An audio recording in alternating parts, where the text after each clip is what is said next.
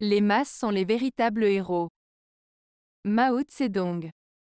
Cette citation de Mao Tse-dong souligne l'importance du peuple dans la construction d'une société.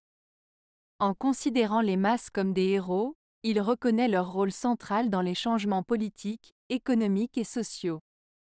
Cela parle également de la capacité de la masse à travailler ensemble pour réaliser de grandes choses.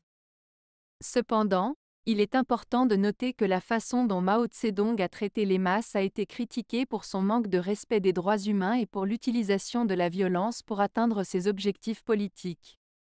Par conséquent, bien que la citation encourage la participation de la population dans les processus de changement, il est important de considérer cette idée de manière critique et de ne pas justifier des méthodes violentes ou abusives pour atteindre les objectifs.